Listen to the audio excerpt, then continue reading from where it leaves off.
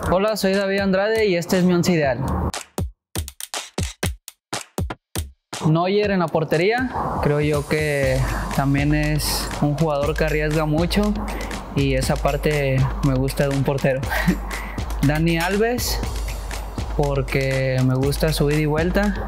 Sergio Ramos, muy fuerte, muy intenso y creo yo que eso prende a los demás compañeros esa misma garra que él transmite. Puyol se identifica así como un guerrero que no se da por vencido y siempre está ahí peleando hasta la más mínima pelota, así vaya para afuera, él va y se tira de cabeza. Roberto Carlos por su pegada, su ida y vuelta, esa potencia que, que tenía en las piernas para golpear esa pelota o, un cambio de dirección.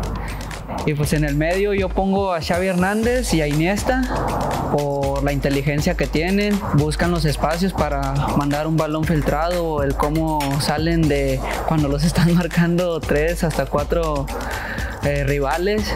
Lionel Messi, pues creo yo que es el mejor jugador del mundo, bueno, al menos para mí.